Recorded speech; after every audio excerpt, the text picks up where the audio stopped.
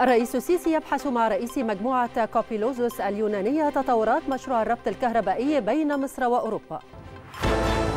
شكري. يبحث مع وزراء خارجية الاتحاد الأوروبي تحقيق وقف إطلاق النار في غزة وجهود تعزيز المساعدات الإنسانية للقطاع. في أعنف قتال تشهد غزة منذ بداية العام قوة الاحتلال تتوغل في غرب خان يونس وتقتحم مستشفى الأمل بالمدينة. السادسة مساء بتوقيت القاهرة رابعة بتوقيت جرينتش نشرة إخبارية مفصلة تأتيكم من التلفزيون المصري أهلا بكم.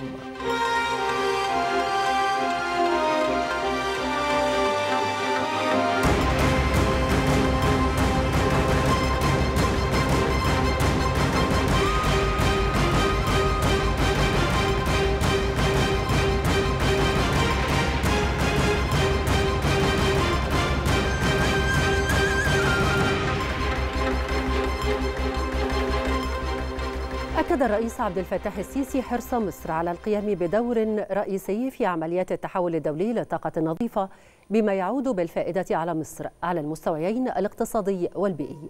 ومشيدا في هذا الصدد بالتعاون المشترك بين مصر واليونان في كافة المجالات.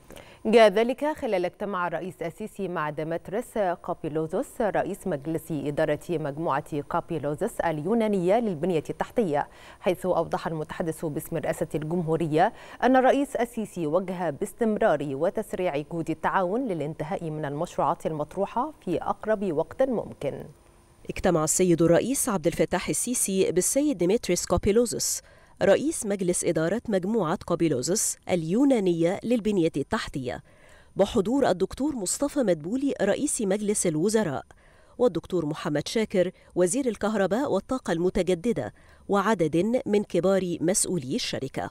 وصرح المتحدث الرسمي باسم رئاسة الجمهورية المستشار أحمد فهمي أن السيد الرئيس اطلع خلال الاجتماع على تطورات مشروع جريجي للربط الكهربائي مع أوروبا خاصة مع نجاح جهود إدراج المشروع في القائمة الأولى للمشروعات ذات الفائدة المشتركة بالاتحاد الأوروبي بما يتيح المجال لبدء المرحلة المقبلة من تنفيذ المشروع والخاصة بإعداد الدراسات الفنية والبيئية النهائية. وكذا الدراسة الخاصة بتحديد مسار كابلات الربط البحرية. وأضاف المتحدث الرسمي أن السيد الرئيس اطلع أيضا على خطط المجموعة لإنتاج الطاقة المتجددة في مصر. وفي هذا الصدد استمع سيادته إلى عرض لجهود تعزيز العمل المشترك بين مصر والمجموعة لتنفيذ مشروع إنتاج 9.5 جيجا وات من طاقة الرياح والطاقة الكهروضوئية بما سيمثل دعما حقيقيا للاقتصاد المصري. ويسهم في تعزيز جهود الانتقال للطاقة النظيفة في مصر وأوروبا. وقد وجه السيد الرئيس باستمرار وتسريع جهود التعاون بين الجانبين للانتهاء من المشروعات المطروحة في أقرب وقت ممكن وتيسير كافة الإجراءات وتذليل العقبات التي يمكن أن تواجه المشروعات مؤكدا حرص مصر على القيام بدور رئيسي في عمليات التحول الدولي للطاقة النظيفة بما يعود بالفائدة على مصر على المستويين الاقتصادي والبيئي. ومشيدا في هذا الصدد بالتعاون المشترك بين مصر واليونان في كافة المجالات والذي يعكس العلاقة القوية بين البلدين.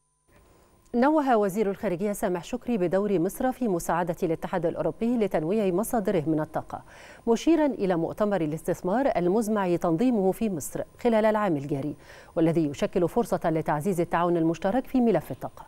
جاء ذلك خلال لقاء شكري مع المفوضة الأوروبية للطاقة خلال زيارته للعاصمة البلجيكية بروكسل حيث أشار شكري إلى ما تطلع به مصر من مشروعات الطاقة المتجددة بالتعاون مع بعض الشركات الأوروبية. بالإضافة إلى التعاون الجاري في مشروع الربط الكهربائي بين مصر واليونان واعتماد مصر لهدف الوصول بنسبة الطاقة المتجددة إلى 42% من مزيج الطاقة وذلك بحلول عام 2030 من خلال الاعتماد على الطاقة الشمسية وطاقة الرياح.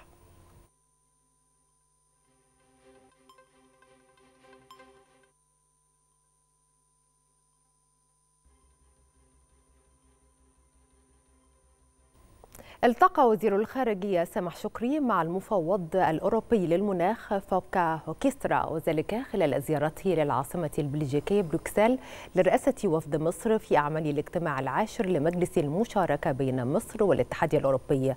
وخلال اللقاء استعرض شكري الدور الرئيسي الذي لعبته مصر في الدفع بأجندة المناخ الدولية على مدار العامين الماضيين. وأكد شكري حرص مصر على التنسيق مع الاتحاد الأوروبي في المرحلة اللاحقة على مؤتمر دبي كوب 28 وصولا إلى مؤتمر باكو كوب 29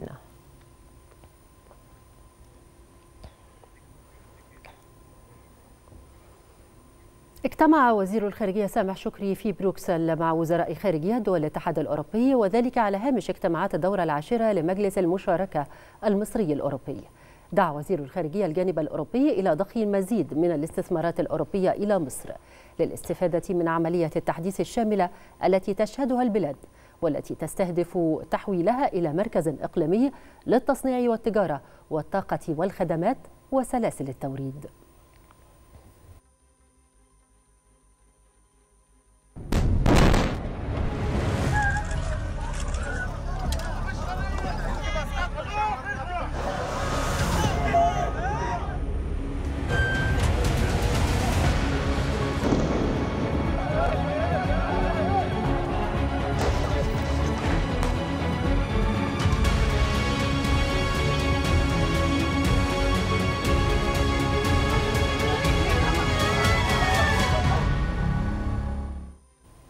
عقد وزير الخارجية سامح شكري اجتماعا ثنائيا مع مفوض الاتحاد الأوروبي لإدارة الأزمات حيث تناولا معا الجوانب الإنسانية والأمنية للأزمة في قطاع غزة. تطرق الاجتماع لمسارات التحرك المشتركة بين مصر والاتحاد الأوروبي لتخفيف المعاناة الإنسانية لأبناء الشعب الفلسطيني وكذا تنسيق جهود تعزيز حجم المساعدات الإنسانية المقدمة للقطاع. وشدد شكري على ضرورة تبني الأطراف الدولية مثل دول الاتحاد الأوروبي لمواقف قاطعة. إزاء تحقيق الوقف الفوري الشامل لإطلاق النار باعتباره المسار الوحيد لاحتواء الأزمة الإنسانية في غزة وكذلك فيما يتعلق بالرفض القاطع لأية محاولات إسرائيلية لتهجير الفلسطينيين خارج بلادهم. هذا وأكد وزير الخارجية سمح شكري الرفض الكامل للدعاوى التي طرحت في بعض الأروقة الرسمية وغير الرسمية في إسرائيل حول تهجير الفلسطينيين من قطاع غزة إلى مصر. جاء ذلك خلال اللقاء الذي عقده وزير الخارجية مع زافير بيتل نائب رئيس وزراء دوقية لوكسمبورغ الكبرى حيث أكد شكري أهمية عدم التعامل مع الحرب الحالية على اعتبار أنها بدأت في السابع من أكتوبر الماضي. حيث إن الأمر يرتبط بسلسلة طويلة من الانتهاكات الإسرائيلية ضد حقوق الشعب الفلسطيني. كما عقد وزير الخارجية اجتماعا ثنائيا مع نائبة رئيس الوزراء ووزيرة خارجية بلغاريا ماريا جابرييل. وخلال الاجتماع استعرض شكري الشواغل المصرية من قضايا الإقليم مع التأكيد على محورية القضية الفلسطينية ورفض الممارسات الإسرائيلية. من جانبها أعربت الوزيرة البلغارية عن عميق تقديرها للدور الكبير الذي لعبته مصر لنفاذ المساعدات الإنسانية إلى قطاع غزة مشيرة إلى أنه في ضوء استعدادها لتولي منصب رئيسة وزراء بلغاريا في مارس المقبل فإنها ستقدم دعم دعم بلادها الكامل لمصر داخل أروقة الاتحاد الأوروبي. يعقد وزراء خارجية الاتحاد الأوروبي محادثات منفصلة مع وزيري خارجية فلسطين وإسرائيل لبحث آفاق تحقيق سلام دائم. ويسعى الاتحاد الأوروبي إلى توحيد موقفه بشأن النزاع في غزة في ظل رفض داعمين أقوياء لإسرائيل مثل ألمانيا. ومطلب الوقف الفوري لإطلاق النار الذي تقدمت به دول مثل إسبانيا وأيرلندا.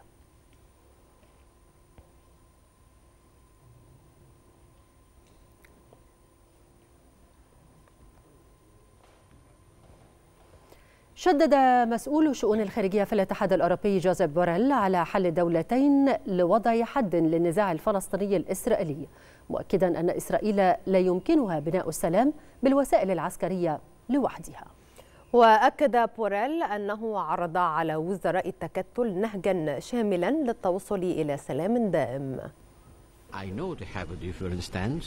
I know لا توجد كلمات لشرح كيف هو الوضع مع مئات الآلاف من الفلسطينيين الذين ليس لديهم أي شيء بلا ملاجئ ولا طعام ولا أدوية. وتحت القنابل عدد القتلى مرتفع للغاية بين المدنيين. فإلى متى سيستمر ذلك؟ لن أتحدث عن عمليات السلام بل عن عمليات حل الدولتين. إذا كنا جادين في ذلك علينا دراسة الأسباب الكامنة وراء منع عدم تنفيذ هذا الحل وعلينا أن نعمل معا مع العالم العربي لمحاولة البحث عن حل. فمن الآن فصاعد يجب التحدث عن عمليات حل الدولتين. الإسرائيليون يزرعون بذور الكراهية لأجيال عديدة. فالسلام والاستقرار لا يمكن بناؤهما فقط بالوسائل العسكرية. أكد مندوب مصر الدائم لدى جامعة الدول العربية محمد مصطفى عرفي أن مصر تقف موقفا جدا وحازما تجاه تصفية القضية الفلسطينية عبر فرض التهجير القسري على فلسطيني غزة. وجدد مندوب مصر الدائم لدى جامعة الدول العربية التأكيد على أن القضية الفلسطينية ليست قضية العرب المركزية فحسب. بل هي قضية كل شرفاء العالم. وأضاف مندوب مصر أن الشعب الفلسطيني العظيم ما زال متمسكا بالصمود في أرضه ليضرب المثل في العزة ورفض الظلم.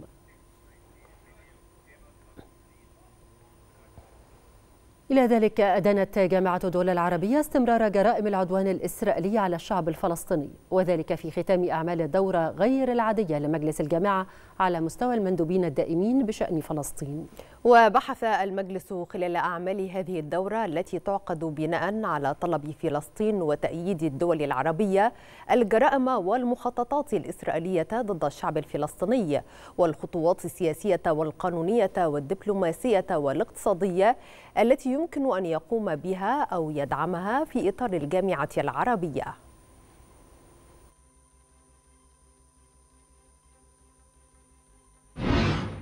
هذا الوضع الكارثي بكل معانيه وأبعاده يملي وبصورة عاجلة وملحة على الضمير الإنساني والمجتمع الدولي بقيمه وقوانينه ونظمه وجوب التحرك الفوري والفعال لوقف حرب الإبادة والإفناء وحفظ الحياة بوقف الحرب وتوفير أسباب العيش بمختلف أشكال الإغاثة الإنسانية وهما المساران الواجبان تلازما ويحظيان بأولوية تفوق كل الأولويات وعلى الفور. وخلال اجتماع جامعة الدول العربية أكد مندوب فلسطين الدائم لدى الجامعة السفير مهند العكلوك أن هدف إسرائيل هو التهجير القسري للشعب وهو هدف واضح في كل سياسات إسرائيل ولم يبدأ ذلك منذ 7 من أكتوبر بل منذ سنوات طويلة. وأشار إلى أن إسرائيل أضافت لتاريخها جريمة الإبادة الجماعية بعد قتلها أكثر من 11 ألف طفل فلسطيني. ضمن أكثر من 25 ألف شخص استشهدوا.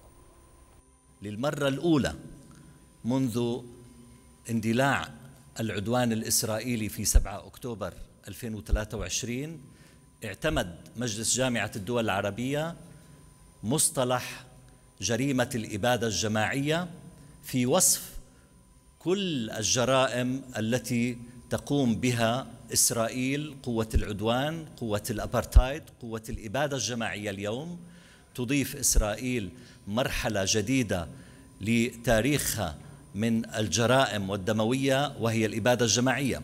فمجلس الجامعة اليوم وضح بأن قصف المدنيين تدمير مئات آلاف المنازل قتل عشرات آلاف المدنيين الأبرياء سبعين بالمئة من الضحايا من الأطفال والنساء وترافقت هذه الجرائم كلها مع خطاب إبادة جماعية واضح جدا يقوله بلا تردد رئيس حكومة الاحتلال الإسرائيلي ووزرائه.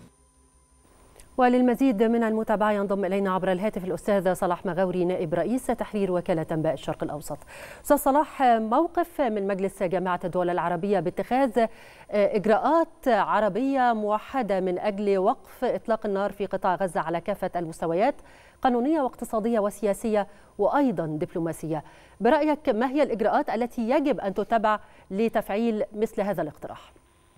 هو طبعا النهارده مجلس جامعه الدول العربية على مستوى المندوبين الدائمين عقد اجتماعا وأصدر عديد من القرارات لعل أهمها تشكيل لجنة مؤقتة مفتوحة العضوية لدراسة إجراءات عربية على المستويات القانونية والأمانة العامة لدراسة الإجراءات التي يمكن القيام بها لتفعيل وتنفيذ مضامين قرار جامعة الدول العربية وتعميمه ومتابعته بعد ذلك وتكليف الأمين العام للجامعة العربية بمتابعة تنفيذ هذا القرار مع الدول المعنية وتكليف البعثات الدبلوماسية العربية لتفعيل وتنفيذ مضامين هذا القرار. هذا القرار يأتي في ضوء ما أعلنه مجلس الجامعة اليوم من وصف الاعتداءات الإسرائيلية الأخيرة على قطاع غزة بجرائم الحرب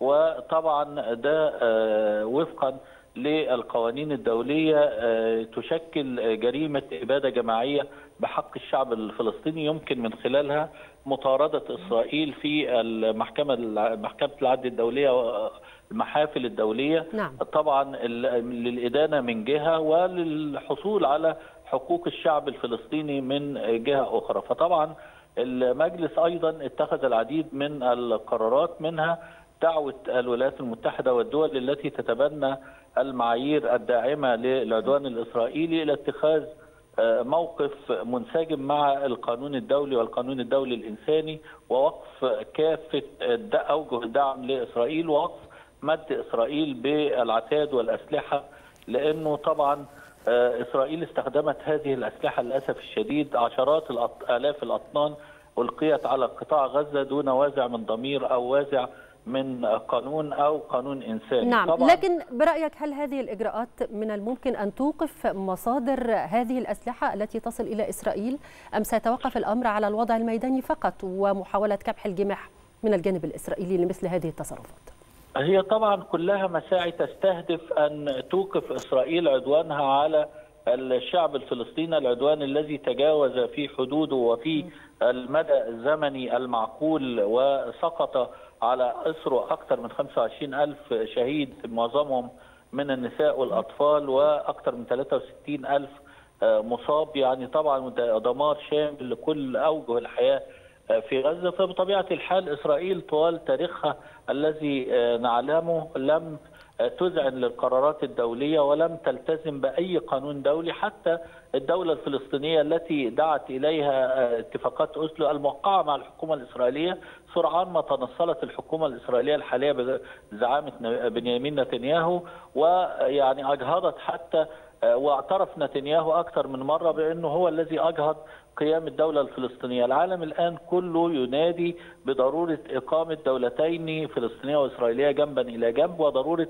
إعطاء الشعب الفلسطيني كافة حقوقه المشروعة على أرضه وحقه في إقامة دولته المستقلة وفقا نعم. لمقررات ولكن أين مفاتيح الإجبار لإسرائيل؟ هو طبعا للأسف الشديد أنه المجتمع الدولي عليه دور مهم مجلس الأمن الدولي والجمعية العامة للأمم المتحدة سبق أن اتخذ قرارا نعم. يعني العديد من القرارات لكن للأسف لم يتم تفعيلها بسبب الدعم غير المسبوق سواء من الولايات المتحدة أو من عديد من الدول الغربية، لكن الآن نجد أن هناك بالفعل دولا غربية غيرت من توجهاتها خاصة إنه هناك الآن يعني بلجيكا دعمت القرار والمطالبة دولة جنوب أفريقيا يعني دعوة ضد إسرائيل بجرائم الحرب. الآن إيرلندا تسعى أيضا إلى أن تنضم لهذه الدعوة اسكتلندا غيرها من الدول التي أصبحت الآن تتبنى المنطق الإنساني والدفاع عن حقوق الشعب الفلسطيني فهناك بالفعل تغير في وجهة أو في اتجاهات الرأي العام تجاه ما يحدث داخل الأراضي الفلسطينية لأنه العالم أصبح يشاهد مأساة إنسانية وانتهاك نعم. صارخ وواضح للقوانين والأعراف الدولية. أشكرك جزيل الشكر الأستاذ صلاح مغاوري نائب رئيس تحرير وكالة أنباء الشرق الأوسط. نفى رئيس الوزراء الإسرائيلي بنيامين نتنياهو تكهنات عن جهود تجرى لإطلاق سراح محتجزين آخرين في غزة. وقال نتنياهو إن إسرائيل قدمت مبادرة لم يحددها في ظل غياب أي مقترح جدي من حركة حماس.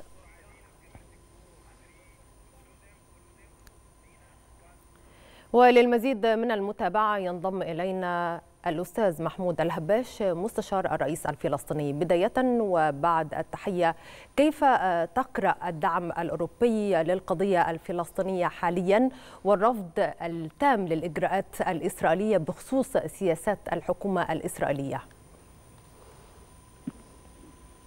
هو بالتأكيد نرى تغيرا لافتا في المواقف الدولية تغير إيجابي هناك تحول ما بين بداية العدوان الإسرائيلي إلى الآن.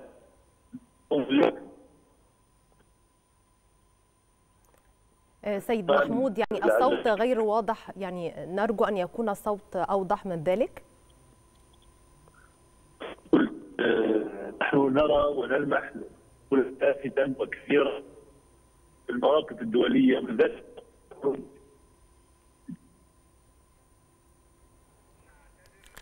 نعم نعتذر سيد محمود الهباش مستشار الرئيس الفلسطيني عن رداءة الصوت من المصدر. شكرا جزيلا لوجودك معنا. اقتحم العشرات من أفراد عائلات المحتجزين في غزة اجتماعا للجنة المالية في البرلمان الإسرائيلي الكنيست اليوم. وأظهرت مقاطع فيديو متداولة على منصة إكس أفراد عائلات المحتجزين وهم يصرخون احتجاجا على ترك أقاربهم يموتون في غزة. وذكرت تقارير محلية أن الاحتجاجات أدت إلى إيقاف اجتماع اللجنة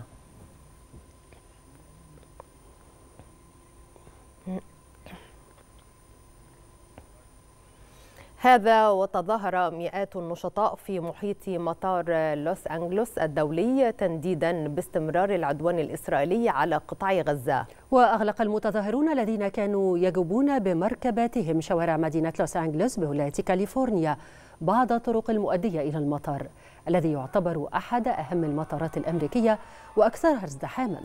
وأكد النشطاء أن رسالة الفعاليات التي ينفذونها أنه لا توجد حياة طبيعية مع استمرار الإبادة الجماعية في قطاع غزة وأنه يجب وقف إطلاق النار وإيصال المساعدات بشكل غير مشروط.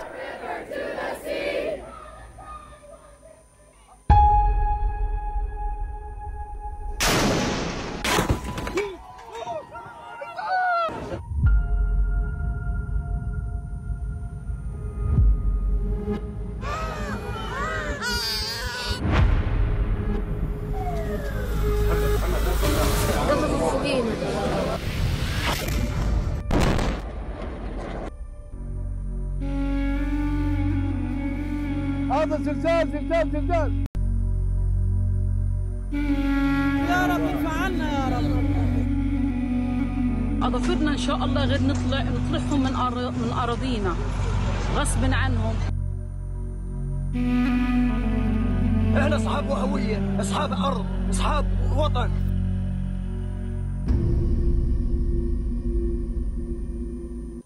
قالت وزارة الصحة في غزة إن 25295 فلسطينيا استشهدوا وأصيب 63 ألف آخرون في الحرب الإسرائيلية على القطاع منذ 7 من أكتوبر الماضي. أضافت الوزارة في بيان أن الأعداد تشمل 290 شهيدا و340 مصابا خلال الساعات الأربع والعشرين المنصرمة. نام نام نام على ظهرك شوي نام خذ نفس توغلت قوة الاحتلال الإسرائيلي غرب مدينة خان يونس وتحديدا في منطقة المواصي القريبة من ساحل البحر المتوسط. وأفاد شهود عيان أن قتالا عنيفا اندلع بين قوات الاحتلال وعناصر المقاومة بالمدينة. يأتي ذلك فيما قالت جمعية الهلال الأحمر الفلسطيني إن قوات الاحتلال الإسرائيلي اقتحمت مستشفى الأمل وسط مدينة خان يونس بالدبابات والآليات الثقيلة وفرضت حصارا حول مستشفى ناصر.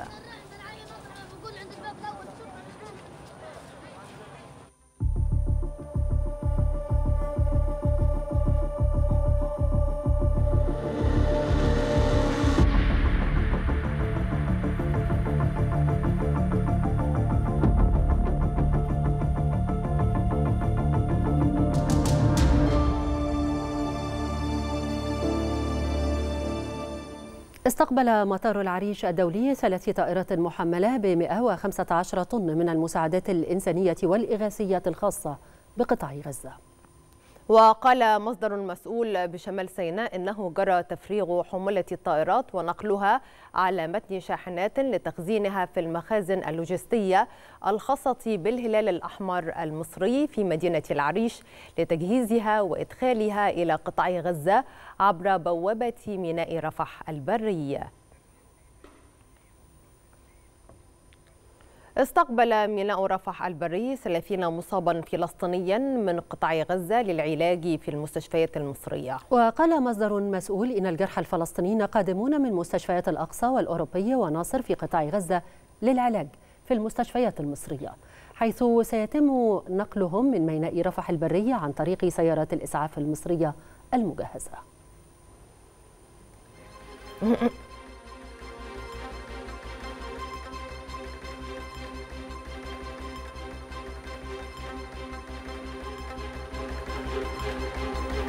نشرة السادسة تتواصل معكم على شاشة التلفزيون المصري وتتابعون فيها. الاتحاد الأوروبي يفرض عقوبات على ستة كيانات ضالة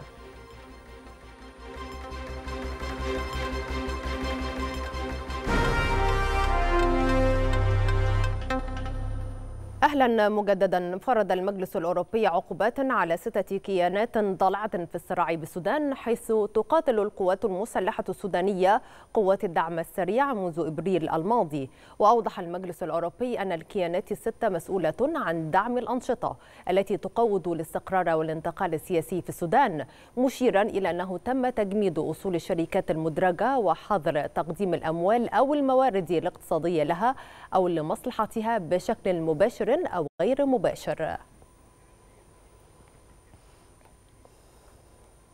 حذر رشاد العليمي رئيس مجلس القيادة الرئاسية في اليمن قوات الحوثي من مغبة تصعيدها على مختلف الجبهات ومواصلة استثمار القضية الفلسطينية العادلة لنسف كافة الجهود الرامية لإحلال السلام والاستقرار في اليمن.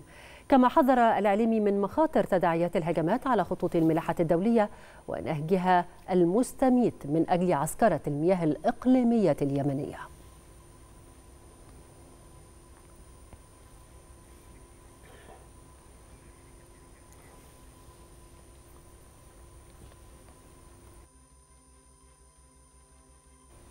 أعلنت باكستان أن وزير الخارجية الإيراني حسين عبد اللهيان سيزور إسلام أباد الاثنين المقبل. وأوضحت وزارة الخارجية الباكستانية أن البلدين سيتبادلان السفراء مرة أخرى اعتبارا من يوم الجمعة المقبل. ومن جانبها أكدت وزارة الخارجية الإيرانية أن سفيرها سيستأنف عمله في العاصمة الباكستانية.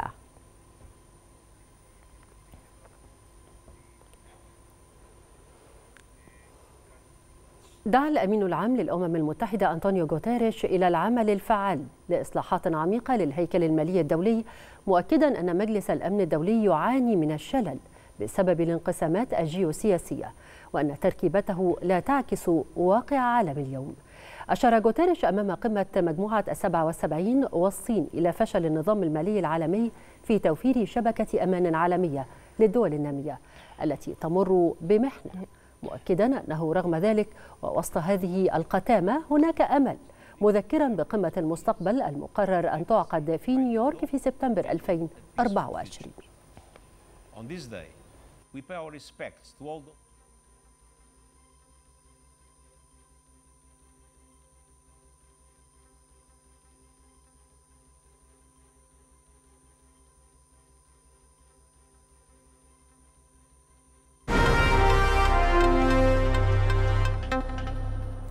هنأ رئيس مجلس الشيوخ المستشار عبد الوهاب عبد الرازق باسمه وباسم أعضاء المجلس الرئيس عبد الفتاح السيسي ووزير الداخلية اللواء محمود توفيق وهيئة الشرطة المصرية والشعب المصري بمناسبة ذكرى عيد الشرطة.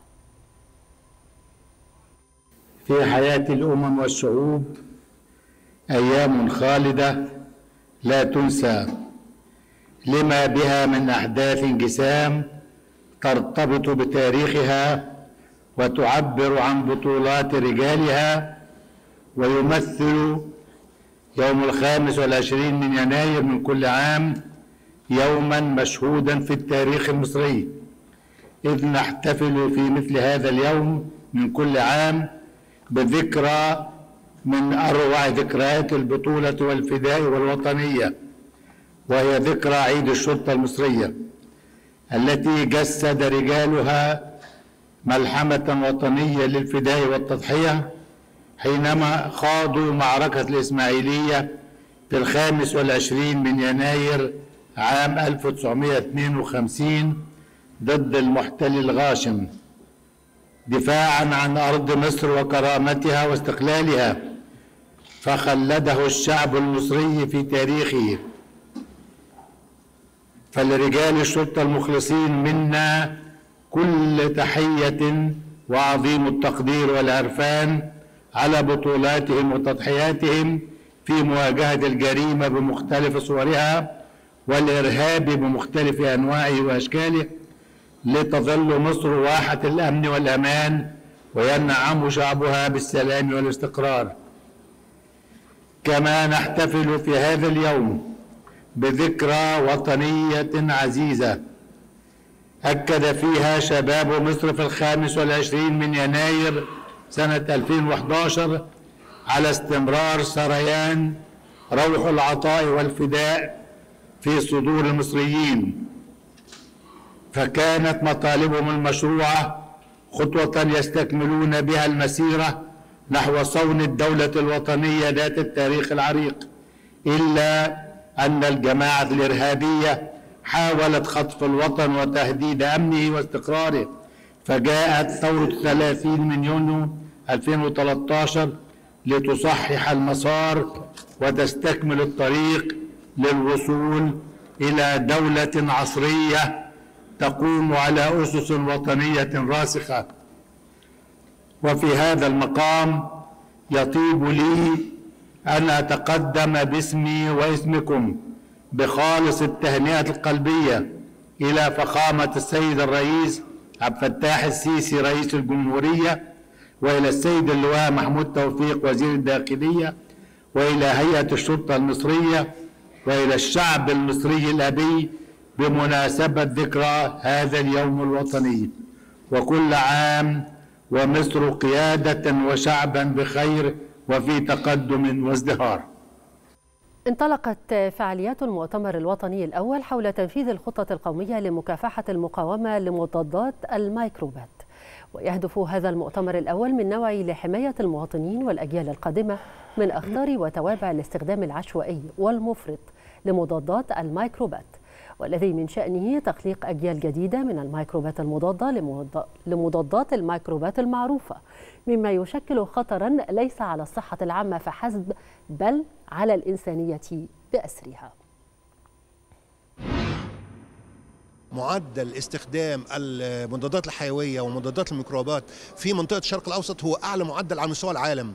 فهناك مشكلة واضحة جدا لابد أن نتعامل معها ونتعامل معها بحسم ونوضع لها معايير للتعامل وده اللي واضح في المؤتمر النهارده وأتمنى إن شاء الله إنه بإذن الله يتحقق على ارض الواقع. الحقيقة إحنا بنستهدف يمكن الفريق الطبي من خلال هذا المؤتمر علشان نوصل هذه الثقافة ونرسي ده في كافة المستشفيات وكافة منافذ تقديم الخدمة الطبية اللي بدورهم هيوصلوا هذه الرسالة التوعوية للمواطن اللي الحقيقة برضه له دور كبير جدا في تغيير ثقافته تجاه استخدام الدواء وإن الدواء ليس سلعه بتباع ولكنه بيتم استخدامه طبقا لخطة طبية ووصفة طبية نتيجة يعني توصيات من الطبيب المعالج. كان في جهود حسيسة جدا بين كل السادة الزملاء ويعني ده أعقبه عدة اجتماعات مع مقدمي الخدمة ومع السادة مديرين المستشفيات. وكان فرق مكافحة العدوى كان لها الدور ال upper hand زي ما بيقولوا أو اليد العليا في إن هم النهارده ينظموا ما بين الثلاث محاور بتوع المضادات الحيوية سواء المحور المسموح به أو اللي يعني ممكن المرحلة اللي بعده. مرورا بال reserve ده اللي المفترض النهارده كنا هنبقى مخلين بالنا منه واللي ما بيتمش وصفه إلا عن طريق المزارع والكلام ده كله. لو ما فيش خطة للدول وخطط للدول والحكومات عشان مكافحة مقاومة مضادات الميكروبات هيبقى الوفيات في 2050 على مستوى العالم بنتكلم في حوالي 50 مليون حالة وفاة. وده هيبقى في الوقت دوت هيبقى أكتر معدل وفيات حتى من الأمراض المعدية الملاريا بتكلم على حالات يعني مرض الإيدز. بل لو جمعت ده كله على بعضه هتبقى الوفيات من هذا الموضوع. لو ما اتخذش فيها خطوات عشان نقلل دوت هتبقى دي من أعلى معدلات الوفيات. أطلق التحالف الوطني للعمل الأهلي التنموي المرحلة التاسعة والعشرين من قوافل ستر وعافية بمركز فرشوط بمحافظة قنا. تقدم أو تقدم القافلة مجموعة متنوعة من الخدمات للأهالي وذلك بمشاركة 17 كيانا من كيانات التحالف حيث تشمل القافلة قافلة طبية متعددة التخصصات للكشف والعلاج والمتابعة. وقياس النظارات الطبية والضغط والسكر وكذلك تركيب أجهزة تعويضية. كما تتضمن القافلة توزيع المواد الغذائية واللحوم بجانب إقامة معارض للملابس وأغطية للشتاء ومسرح للعرائس وكرنفال للأطفال بالإضافة لفصول إعادة تدوير وترشيد استهلاك وغيرها من الأنشطة. بحثت الحكومة رغبة عدد من شركاء التنمية في المشاركة بالمبادرة الرئاسية حياة كريمة من خلال الإسهام في تدبير بعض المهمات اللازمة من الخارج لاستكمال المشروعات ذات الأولوية. أكدت الوزارة وزارة التعاون الدولي أن هناك أكثر من تصور لشركاء التنمية لتحقيق هذه المشاركة.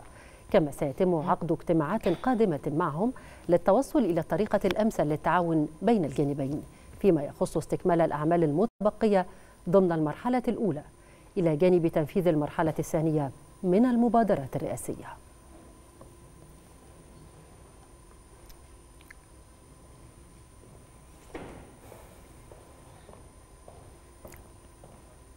وتحت مظلة المبادرة الرئاسية حياة كريمة اختتمت القافلة العلاجية بنجع الشيخ جراد التابع لمركز دراو بأسوان أعمالها.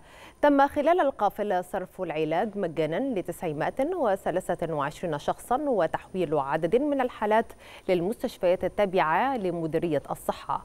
وقدم أهل القرية شكرهم للرئيس عبد الفتاح السيسي لجهوده واهتمامه بصحة المواطن المصري. النهارده معانا أكتر من 10 تخصصات طبية مختلفة. النهارده معانا معملية كيمياء الدم والطفيليات معانا الصيدلية اللي بتضم أكتر من 130 صنف مختلف من الأدوية. النهارده معانا كمان جهاز الأشعة التشخيصية اللي بنشخص بيها اشتباهات حالات الكسور.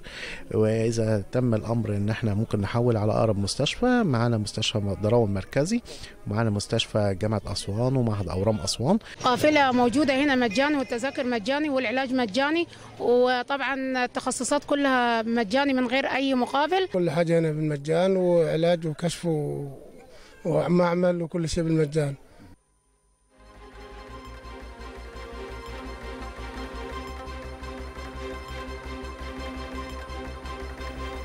وقفة الآن مع أخبار المال والأعمال. أخبار الاقتصاد مع سارة نجيب. إليك سارة. شكرا هبة ودينا. مشاهدينا هذه وقفتنا الاقتصادية للسادسة. أهلا بكم.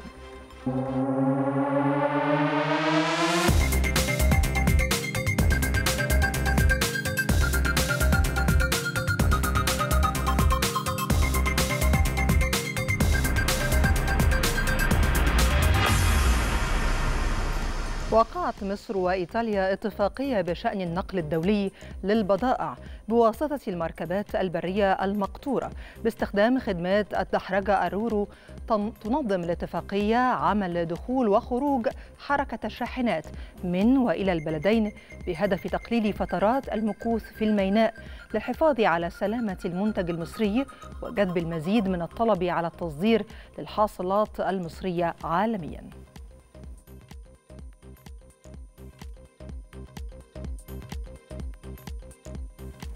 استقبل وزير البترول طارق الملا وفدا من شركة ميديتيريا الكندية للطاقة حيث تم بحث أنشطة الشركة في مصر وخطط عملها لرفع معدلات إنتاج البترول الخام واستعراض واستعرض وفد الشركة موقف أعمالها في مناطق امتياز كوم أمبو ومناطق سدر ومطارمة وعسل بسيناء وأنشطتها لتنمية وإنتاج البترول الخام والتي حققت نتائج إيجابية مؤخراً.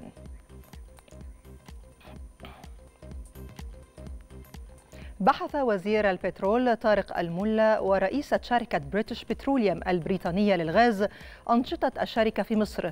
تم خلال اللقاء استعراض أنشطة بي بي كمشغل رئيسي في حقول أتول ورأس البر وريفين بالبحر المتوسط. بالإضافة إلى برامج العمل بمناطق امتياز شمال كينج ماريوت وشمال غرب أبو قير وشمال الطابية البحرية وشمال دمياط.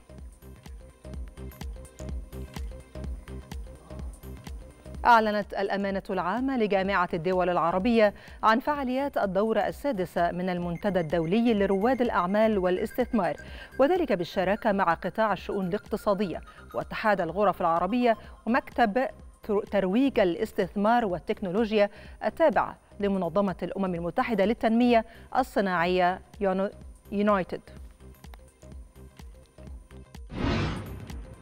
سوف نرى التجارب المختلفة من العالم التي ساعدت في تنمية مهارات ريادة الأعمال والابتكار وتبكير الشباب والمرأة وكيفية نقلها وتعزيزها في المنطقة العربية وأيضا نقل التجارب العربية ومنها تجربة النموذج البحريني العربي لريادة الأعمال والابتكار إلى مختلف دول العالم تحت مظلة الأمم المتحدة.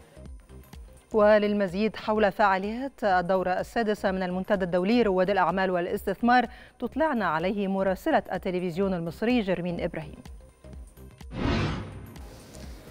بعد التحية نتابع معكم تفاصيل المؤتمر الصحفي الذي عقد بجامعة الدول العربية للإعلان عن تفاصيل وفعاليات الدورة السادسة من المنتدى الدولي لرواد الأعمال والاستثمار والذي يعقد تحت شعار تحقيق أهداف التنمية المستدامة من خلال ريادة الأعمال والابتكار والاستثمار. هذا المنتدى سيعقد في مملكة البحرين بعد الاجتماع الاجتماعات الخاصة بالقمة العربية الثالثة والثلاثين والتي ستعقد بحضور رؤساء وملوك الدول العربية في مملكة البحرين. ويأتي هذا المنتدى بالتعاون والشراكة بين جامعة الدول العربية وأيضا اتحاد الغرف العربية والأمم المتحدة. إذا تحدثنا عن أهداف هذا المنتدى فهو يعمل على تحقيق أهداف التنمية المستدامة من خلال التمكين الاقتصادي للشباب على المستوى العربي والدولي. أيضا مناقشة الآليات التي ستساهم في تعزيز قدرة رواد الأعمال على الاستمرار في مشروعاتهم في ظل التحديات العالمية وأيضا في ظل متطلبات الثورة الصناعية. أيضا سيعمل على تحقيق الشراكة بين القطاعين العام والخاص ووضع آليات لإيجاد فرص عمل للشباب. أعود إليكم مرة أخرى في الاستوديو. ارتفعت صادرات السعودية من النفط الخام في نوفمبر الماضي إلى أعلى مستوى لها في خمسة أشهر مسجلة ثالث زيادة على التوالي. وارتفعت صادرات النفط الخام السعودية بنسبة 6 من 10% إلى 6 ملايين و300 ألف برميل يومياً.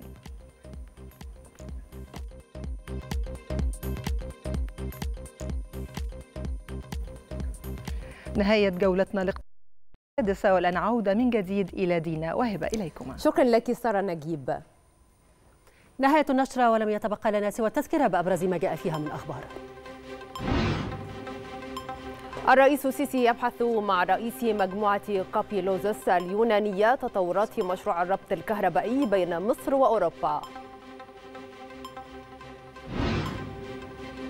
شكري يبحث مع وزراء خارجية الاتحاد الأوروبي تحقيق وقف إطلاق النار في غزة وجهود تعزيز المساعدات الإنسانية للقطاع. في أعنف قتال تشهده غزة منذ بداية العام قوات الاحتلال تتوغل غربي خان يونس وتقتحم مستشفى الأمل بالمدينة.